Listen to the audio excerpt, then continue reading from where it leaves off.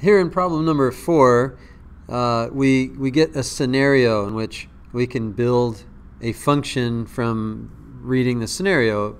Mateo walking to school, uh, he walks for nine minutes, he's six blocks from home. So, how far away he is from home is dependent upon how many minutes that he has been walking. So, we'll let the, the defining our variables would be the time in minutes would be the x-axis. So x is the time, and then y would be the distance from home. So distance, uh, distance in blocks from home.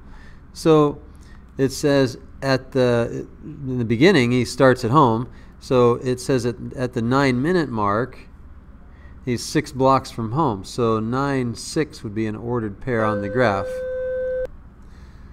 And then it says after walking for nine minutes, he's six blocks from home. It's not. He walks at a comfortable pace. So what we want to do here is we want to uh, assume that he's walking at a constant pace. It doesn't say he speeds up. So there's some assumptions that we're going to be making here. So we're assuming he walks at a comfortable pace, meaning a constant pace. And then it says that he stops to answer a text from on his phone and then he stands still for five minutes. So if he stands still for five minutes, one, two, three, four, five, then here he is at the 14 minute mark and he's still in the same place, still six blocks from home. He quickly walks back home in six minutes to retrieve his math homework that he left on his desk. So uh, in, it takes him six minutes. So he's here at the 14 minute mark, six blocks from home, and then he walks back and he gets back home, distance from home is zero at the 20 minute mark because it took him six minutes more to get home. So any of these these situations can be modeled using a graph. The graph represents distance as a result of time, distance uh, dependent upon time. Now, let's see. Model Mateo's distance from home in blocks as a function of time. So that we already did that. Clearly label your axes. We did that. Graph Mateo's walking journey. Did that. Write a piecewise function. So all we have to do now is to come up with uh, the slope. So the slope here would be, let's see, up 2 and over 3. Up 2 and over 3. Yeah, that works. Up 2 and over 3. 2 thirds. For this part, slopes of uh, horizontal lines are 0.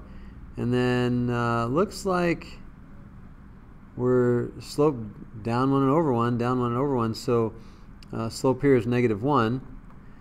That's really uh, two of the main things we need there are, well, we need one, we need the slope, we got that, and then we need the y-intercept. So we have the y-intercept for this line. We already know the equation for this one. This is y equals 6. And now this one's a little bit trickier. Here we have, uh, if we extend this all the way up, it's going to be way up there. So we want to be sure about this one. Let's go ahead and pick a pair of coordinates. Let's pick four, oh no, let's pick 20, 0. 20, 0 are, let's let that be our x1, y1. And then for this piece, here, let me get my green. So for this piece here, we're going to use the equation y minus y1 equals m times x minus x1. And my y1 is 0 oh, my m is negative 1, and my x1 is 20. So I just replace uh, x1, 0 with, uh, replace y1 with 0 and x1 with 20, and then my m with negative 1. And when I multiply through negative 1, I'm going to distribute the negative 1 to both of these terms, multiplying the negative 1 through both terms. Negative 1 times x is negative x. Negative 1 times negative 20 is positive 20. So that's the third piece. That's the equation for that piece. So we have the equation for the second piece. We have the equation negative x plus 20 for the third piece. But this piece, we have y equals 2 thirds x. So we have all three pieces, and then we use those three pieces to build our piecewise function. y equals the first piece, 2 thirds x. That's between 0 and, 0 and 9. 0 less than or equal to x, less than or equal to 9. The next piece is y equals 6.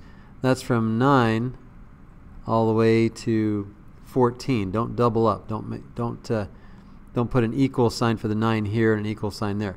And then over here, it's the negative x plus 20.